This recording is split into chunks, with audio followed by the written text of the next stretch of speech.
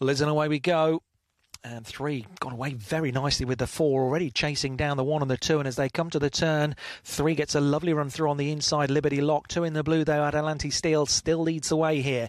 And two out in front from three one four five and six as the handicap unwinds now at the final turn. It's two Adelante Steel from three. Liberty Lock they're queuing up in behind. One remember Lisa. Four on the outside is ice cream. Here comes the stripes of Killiford vodka to the line though. Three holding on. Three wins it.